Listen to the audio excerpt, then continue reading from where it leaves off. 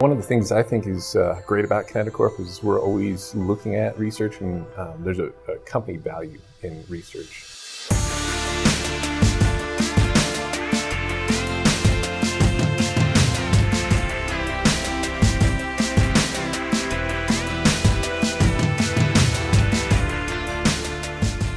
When our clients come to us with questions, we have to be able to connect the question they're asking us to the physical evidence that's available for us to use in our analysis. And it's really our research that allows us to do that, to connect the meaning of that physical evidence to what our clients are asking us.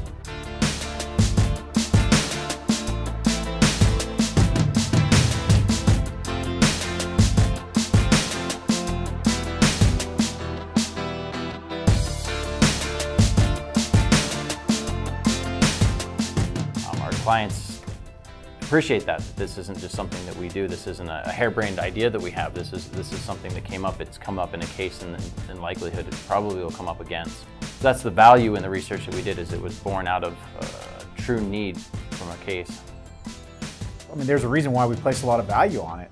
That research helps us answer the questions that our clients are asking us, and that research helps us speak with clarity and with authority and with credibility in the courtroom.